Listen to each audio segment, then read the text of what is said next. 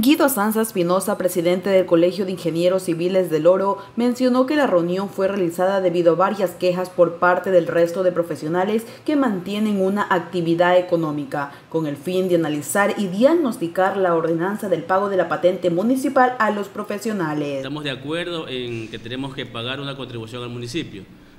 pero una vez nos hemos reunido y estamos revisando las ordenanzas y creemos que la, la, forma de cobrar no está de acuerdo a, a, la realidad de nuestra profesión, porque ellos están tomando en cuenta en base a nuestro patrimonio, porque usted tome en cuenta que nuestro patrimonio puede haber sido obtenido antes de poder empezar a ejercer la profesión. Entonces, nosotros tenemos una particularidad que tenemos, eh, no, no todo el tiempo tenemos trabajo, tenemos nuestro RU abierto, pero tenemos trabajo, puede ser un mes, dos meses, y un año, dos años puede ser que no tengamos,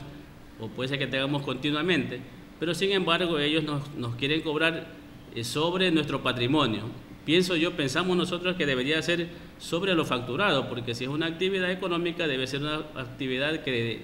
que genere recursos, pues si no estamos generando, ¿cómo nos pueden estar cobrando? Pero acerca de que los artesanos serían los únicos que no tendrían que realizar este pago, Asanza mencionó lo siguiente. Sobre los artesanos también no es, no es tan cierto eso, porque aquí dice que el municipio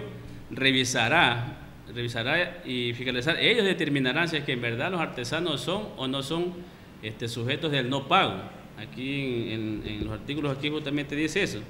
O sea, ellos también se, aparte de que tienen su risa, no eso nomás les, hace que ellos son artesanos. Dice que el municipio va a ir como un fiscalizador a ver, bueno, usted sí es artesano o no es artesano. Eso también, o sea, no solamente para nosotros como ingenieros, para los abogados, para muchos profesionales hay diferentes cosas que pensamos que tiene que aclararse mucho más este tema. De no llegar a ningún acuerdo acerca de la resolución, el presidente del Colegio de Ingenieros Civiles indicó que se realizaría una marcha o una acción de protección de que se suspendan los pagos de la patente municipal hasta solucionar el inconveniente.